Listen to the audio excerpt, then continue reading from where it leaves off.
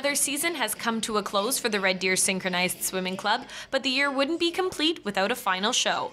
The performances have sparkle and splash, but coach Paige Greenwood says synchro is much more than what appears at surface level. It's not like any other sport, really.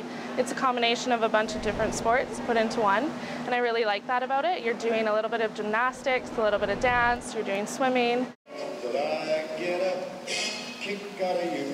It's really hard. Everyone's like, oh, it's such an easy sport, like I could do synchro. What do you do, like dance in the water? It's actually very physically demanding. The girls don't touch the bottom at all. At a competition, we'll get a penalty for touching the bottom. It looks effortless when you watch it, but that's thanks to all the training that goes into it prior.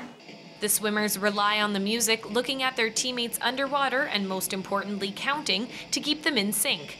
Hours of workouts and run throughs every week is crucial for the swimmers to feel prepared. Third year competitive synchronized swimmer Kia Riesling explains that there is even more work to be done outside of the pool prior to a competition or performance.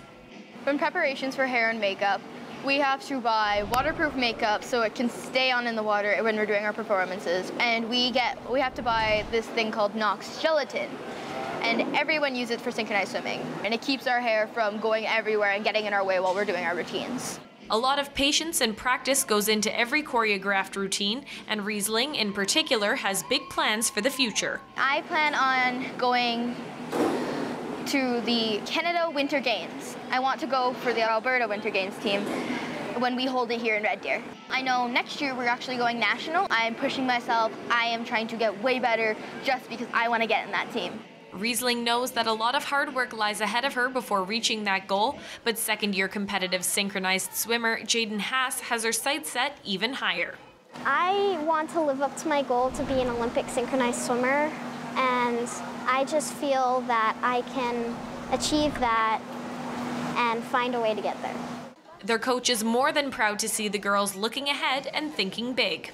It's amazing knowing that they are so driven and I see that in the pool every day, and it, it makes coaching so much easier because they're here and they love being here. It makes me work harder as a coach, knowing that they have such big dreams and aspirations.